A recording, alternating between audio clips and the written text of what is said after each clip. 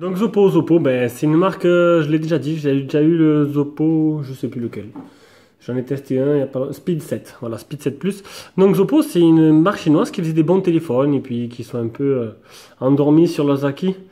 Donc là, c'est un téléphone qui est pas tout récent, mais euh, que j'ai eu sur Amazon reconditionné. Et ah, franchement, j'ai fait une bonne affaire et enfin, c'est un smartphone vraiment magnifique. Donc on va commencer par les caractéristiques. Donc c'est un écran Sharp 5,3 pouces un appareil photo 13,2 mégapixels de Sony euh, avec une lentille en saphir apparemment. Donc on va voir ce que ça donne avec autofocus. Après, euh, devant, c'est un appareil photo 5 mégapixels avec angle de vision de 87,3. Euh, il y a un port IRC dessus, un port télécommande comme les Xiaomi ou les TV. C'est un processeur quad-core 67 32 64 bits, cadencé 1 Go 5 et un Mali 760 pour la partie graphique. Donc euh, l'écran IPS qui fait 720p et Android 4.4, 1 Go de ROM, 1 Go de RAM, 16 Go de ROM, dual SIM, une nano SIM, une micro SIM, qu'est-ce qu'il y a d'autre? Les fréquences 2G, 3G, 4G, toutes bandes françaises. Voilà pour les caractéristiques. On passe maintenant au design. Donc comme je vous ai dit, c'est vraiment un smartphone qui est vraiment magnifique. Donc devant l'écran de 5,3 pouces Sharp, l'appareil photo, l'appareil photo frontal, le capteur de proximité. Là, c'est le haut-parleur de tête. Euh, en dessous, on a les boutons qui sont rétroéclairés avec la LED de notification qu'on voit là maintenant, qui s'est allumée. Donc là, ça c'est bien. Dessous, le port de rechargement et le micro. Sur le côté, des petites bandes. Ça a l'air d'être de l'aluminium, qui c'est assez joli. Le téléphone est assez fin, franchement, il est vraiment beau. Avec, on va, hop, j'ai oublié, donc voilà, donc je vais chercher le petit kikou. Alors, on a un micro SIM ou carte SD. Ça, c'est ou micro SIM ou carte SD. C'est même nano SIM. Nano SIM et carte SD. Micro SD, bien sûr. Et sur le deuxième, on a la deuxième SIM qui est en micro SIM cette fois-ci.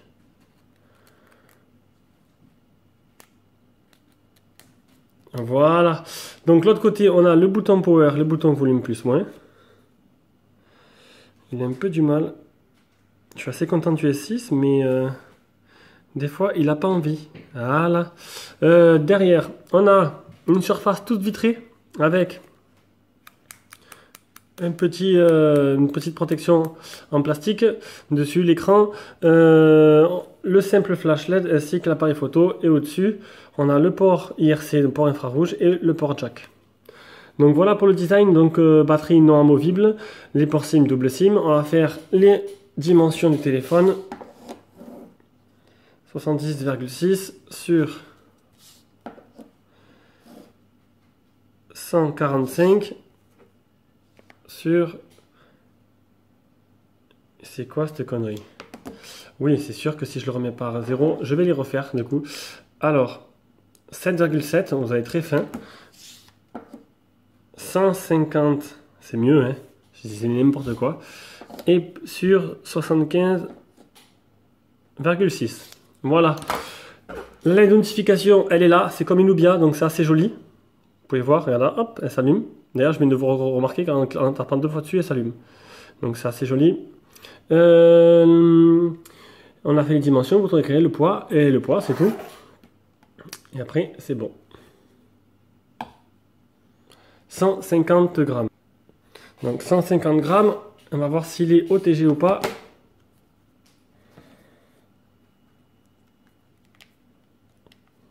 Je pense pas de tout le temps le faire ça.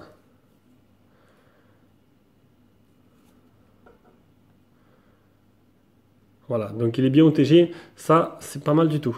Ça fait un petit plus pour que cela que ça intéresse. Hop, ça c'est fait. Euh, voilà pour le design, on passe maintenant à l'écran. Comme je vous ai dit, c'est un écran 5,3 pouces qui vient de Sharp. On va mettre au maximum. Donc euh, très bel écran. Euh, c'est pas le meilleur fond d'écran pour mettre en valeur le téléphone. On va essayer de changer, mettre un fond d'écran assez plus, plus sombre. Ça devrait le faire avec celui-là peut-être? Ah voilà. Regardez un peu la qualité. Honnêtement, l'écran, il est vraiment somptueux. Très lumineux, somptueux. Donc euh, vraiment bien, donc c'est un écran en 720p, réactif, il n'y a pas de souci, c'est super réactif, et ça marche bien. Donc là-dessus, il n'y a pas de problème. Euh, Gorilla Glass, euh, apparemment non, donc je viens de regarder, il n'y a pas de protection Gorilla Glass ni devant ni derrière. Les films sur l'écran, il est installé, il y a un petit film devant, je ne sais pas si on voit bien, voilà, et derrière, je ne l'ai pas enlevé. Euh, le test de l'écran avec Antutu. Donc avec Antutu, on va faire comme à chaque fois, on va faire le, le multi-touch. Juste le multi-touch parce qu'il est bien foutu, il garde en mémoire les touches.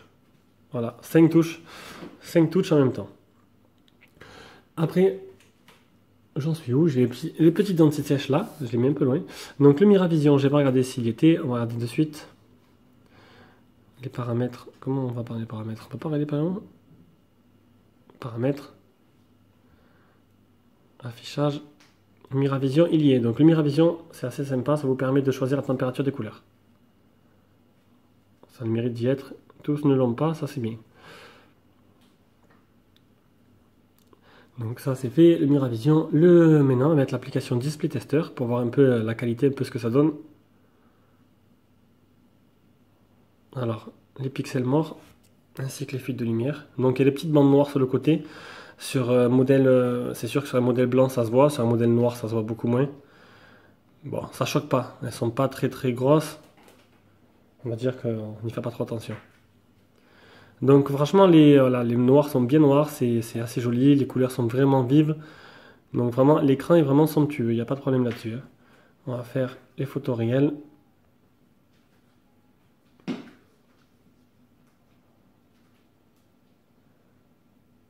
C'est un régal ce téléphone.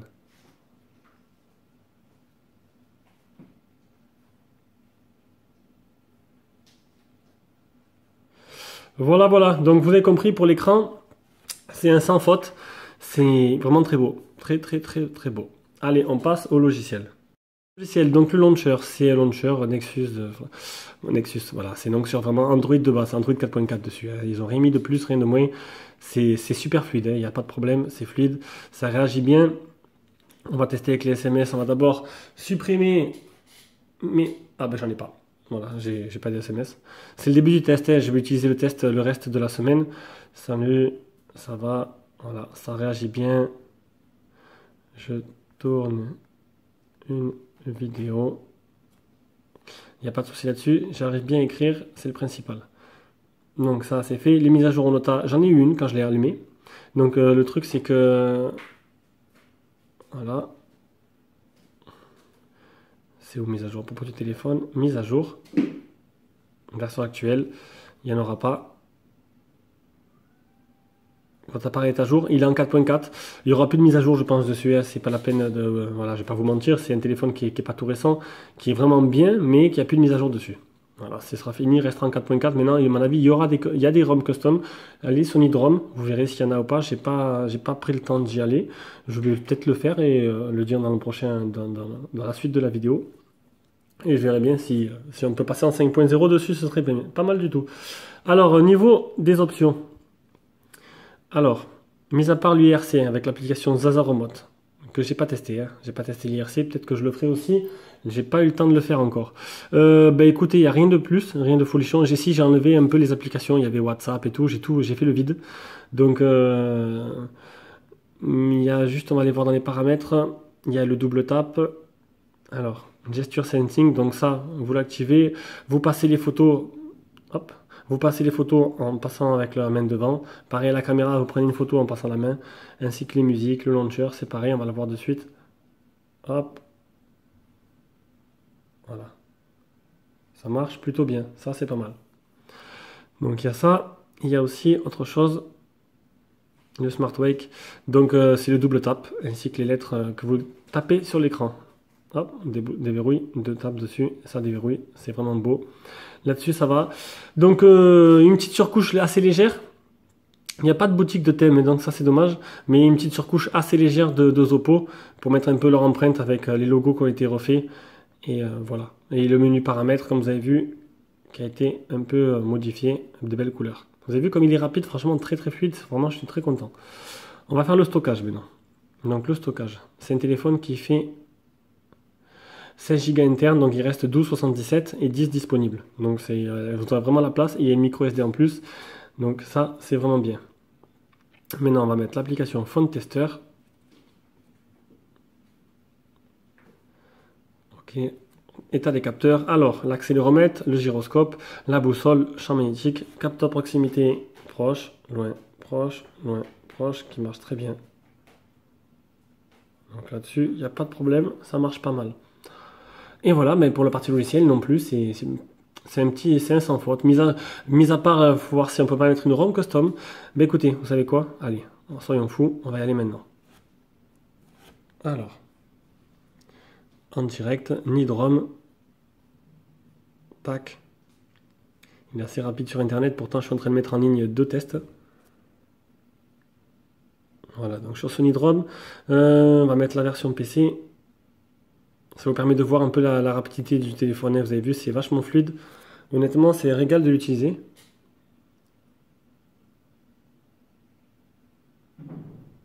Alors, Zopo. Voyons voir où est passé Zopo. Voilà. Zopo. Zopo série ZP700. Et là, on a toutes les séries ZP700. Donc, on aura 700, 700, 700, 700, 720. Hop. Là, il y a une petite mise à jour. Donc, c'est KitKat encore, mais c'est une custom. 720 Plus. Ah, je connaissais pas ce téléphone. Donc, ça, je sais pas, il faudrait voir. Donc, 720 Plus, si c'est la même, le même téléphone ou le nouveau, avec Android 5.1, ça c'est pas mal. 720, bon, KitKat, KitKat. Vous avez des ROM custom si ça vous intéresse à changer. Pas de ROM vers 5.1 à part le 720 Plus. Et je ne sais pas si ce que c'est comme téléphone. Voilà, voilà, on a fini pour la partie logicielle. On passe maintenant aux performances. on va commencer par le Antutu. Vous l'avez déjà vu, 23 000 et quelques. Euh, c'est à peu près ce que j'attendais d'un processeur quad-core. Ce processeur-là. Coucou à tous. Juste quand je dis qu'il est fluide, ah voilà, 23600. Donc bon, c'est pas énorme, mais bon, c'est dans, dans la, c'est un quad core quoi. Zopo IP720, Android 444, Mali 760. En 720p, appareil photo 13 mégapixels. Ça, je l'ai déjà dit. Je vais pas tout redire. On va passer maintenant à l'Epic Citadel. L'Epic Citadel dans la galerie, la galerie, elle est là. Epic Citadel. Alors, 48,5 fps, 720p, ultra high quality. Donc euh, bon processeur graphique. Euh, les jeux. Donc les jeux, on va commencer par Rayman. Donc on va voir ce qu'il donne. Ça m'étonnerait pas qu'il marche vraiment bien. Je pense qu'il devrait bien marcher, bien tourner sur ce téléphone. Il y a eu quelques ralentissements au début. Ah, c'est pas très fluide. Hein. C'est pas extraordinaire, voilà. C'est voilà, ça ralentit, ça lag et tout. Ah là là, décidément, ce Rayman, on peut pas l'utiliser sur tous les téléphones. Pourtant, c'est pas un jeu qui est euh, spécial, mais je sais pas. Au moins, ça me permet de voir euh, quels sont les smartphones qui permettent de le faire tourner ou pas. Donc, on arrête le massacre, ça marche pas. On va le fermer. Ça télécharge les mises à jour. Et on teste maintenant D-Trigger. On passe maintenant à D-Trigger. Donc sur tous les téléphones que j'ai testés, un seul a eu du mal à tourner sur ce téléphone, c'est le Arcos, mais c'était dû au problème de tactile qui était vraiment pourri. Donc ça va aller vite. Voilà, vous montrer un peu les graphismes. Il, il tourne en mode moyen. C'est fluide, ça lag pas. Ça tourne bien. C'est une formalité. Voilà, voilà. Allez, maintenant on passe à Need for Speed. Pas de Need for Speed. Euh, un petit souci, je sais pas, il a pas voulu s'installer. Euh, j'ai attendu, j'ai essayé, j'ai essayé. Il, non, il s'est installé, mais en fait, il y a un petit problème avec le compte. Apparemment, la personne qui l'avait avant, eh ben, l'avait déjà installé, avait créé un compte sur ce téléphone. Et du coup, vu que moi, j'ai pas refait un reset d'usine dès le début, eh ben, il m'a sorti qu'il y avait déjà un compte dessus. J'ai, voilà, il n'y a pas, il y a rien. À part contacter l'assistance. Je n'ai pas réussi, donc il n'y aura pas de Need for Speed. Et en plus, il faut que je speed Voilà, donc c'est un petit jeu de mots, car en fait, euh, voilà, le téléphone est déjà vendu et en fait, euh, la personne a besoin de le téléphone demain, donc je finis vite le test. On va continuer de suite. Alors, on va enlever ça, c'est bon. Donc, on passe à l'appareil photo. L'appareil photo, appareil photo 13 mégapixels Sony, on n'a pas la référence de l'appareil photo, avec soi-disant lentille en saphir. Lentille de saphir, on va voir ce que ça donne. La qualité a l'air très très bonne.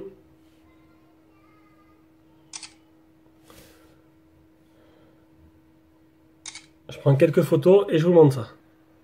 Donc je vais aller prendre quelques photos. Donc là c'est dans le noir absolu. Donc comme vous pouvez voir, euh, ben, la photo est superbe. Elle est bien prise. Il n'y a pas le flash qui euh, brûle un peu la photo. Donc nickel. Les détails sont bien, sont bons. Bon, on zoome un peu. Bon, c'est dans le noir complet. Hein.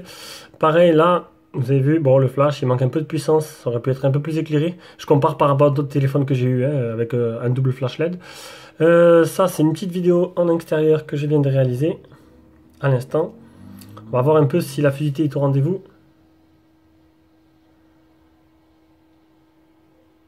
Ça va, c'est fluide, c'est bruité par contre. Je trouve que les détails, dans... il y a beaucoup de détails en fait. C'est tout, j'ai fait que ça. Ah, ben, voilà. Donc, une petite photo encore. Le, le, déclencheur se, déclenche très vite. Dès qu'on appuie, pop, la photo elle est prise. Et ça, je trouve que c'est super bien. Donc maintenant, les photos que j'ai prises en même temps que je filmais, on peut voir hein, les zooms, même en zoomant, regardez l'œil, il n'y a pas, c'est voilà, c'est net. Enfin, c'est net. Un t'es où? Petit Donald. Voilà, donc la qualité de l'appareil photo est vraiment très bonne. Sinon, au niveau logiciel, ben, c'est logiciel de base, hein. rien d'extraordinaire. C'est tous les mêmes et c'est vraiment dommage de ne pas, avoir fait une petite, euh, un petit truc un peu plus sympa. On va avoir un petit selfie avec la tête du sort. Salut à tous. Ouh là, le nez que j'ai, c'est un truc de malade. Ouh, elle fait peur celle-là. Hop, on supprime. Je vais perdre des abonnés là, c'est obligé. Non, niveau selfie, c'est pas extraordinaire. La caméra, elle me suit bien du visage en tout cas. Voilà. Pas extraordinaire le selfie. Bon, on a fini le photo, on passe à la suite. Salut à tous, aujourd'hui on commence le test du Zopo. Donc c'est le Zopo 720 ZP720, voilà. Donc c'est un petit smartphone que j'ai eu de Amazon euh, reconditionné. Donc euh, il est comme neuf, hein. vous avez pu voir le déballage, il y a juste des étiquettes dessus, je les ai enlevées. Sur le, téléphone, vous allez voir tout à l'heure, franchement il est comme neuf. Franchement nickel, il n'y a pas de souci. Donc on commence le test de suite. Allez, c'est parti. Et pensez à mettre un petit j'aime et un petit pouce bleu, c'est pas, pas mal pour moi.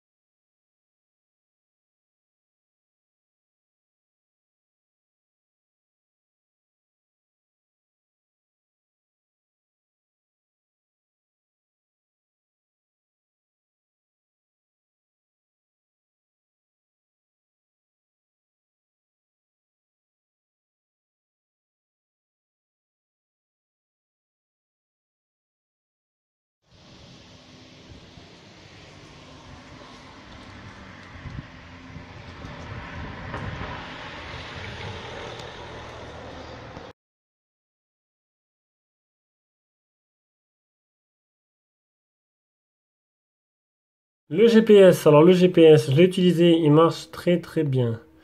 Hop, un petit GPS test, 4 mètres, fixe très rapide. Donc là-dessus, pas de soucis. Donc on va directement enchaîner sur l'audio vidéo. Qualité de communication, c'est pas mal. C'est pas extraordinaire, mais c'est pas mal. Un petit 7 sur 10. C'est voilà, ça marche bien tout. Il y a eu mieux, j'ai eu mieux dans les mains, mais c'est pas mal. On va tester maintenant le haut-parleur ainsi que un petit film en Full HD sur l'écran Bien sûr, c'est du 720p hein, à chaque fois, je vous le dis. 1080p. Celle-là, elle est vraiment belle. J'aime bien cette vidéo. Elle est pleine de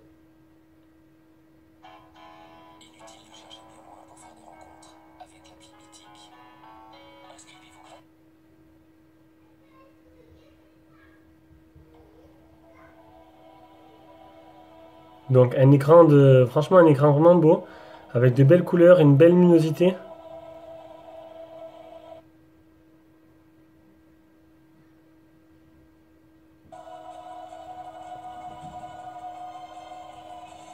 On va écouter maintenant le haut-parleur.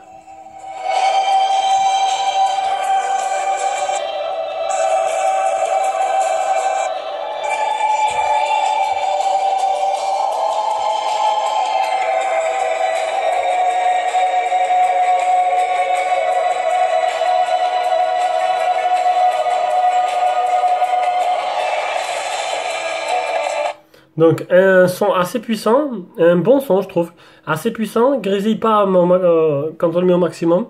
Et euh, voilà, un bon son qui, fait bien son travail.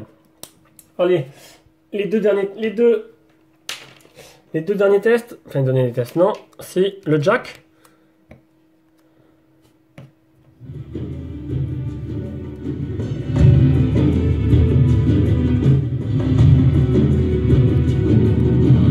Nickel, ainsi que le Bluetooth. Et j'aurai testé tout le téléphone. On me, répète souvent que je, fais, que je teste les téléphones ben, comme vous aimez que je les teste. D'ailleurs, si vous voulez que j'ajoute des choses, bon, j'ai eu déjà des demandes qui étaient un peu farfelues. Enfin, farfelues non, mais qui étaient, euh, étaient minoritaires par rapport à ce que vous cherchez en fait. Donc du coup, je ne peux pas non plus euh, accéder à toutes les demandes. Ça me ferait des, vidéos de 45 minutes et je veux, je veux me retenir à faire des vidéos de 25-30 minutes maximum. Donc, euh, ça doit être ça. J'espère que c'est ça.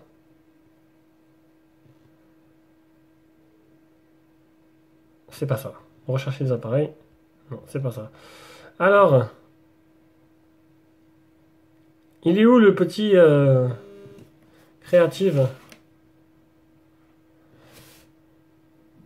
Eh ben, il trouve pas, hein. Allez, on éteint, on rallume, on réactive le Bluetooth. Tout, tout. Et voilà, mais il trouve pas. Donc il me trouve euh, beaucoup d'appareils, mais pas mon, mon. Ah, il est là. Non, même pas. C'est ça? C'est ça, c'est bon, on a trouvé on associe, on connecte, c'est bon, c'est parfait, c'est fait. YouTube et c'est parti.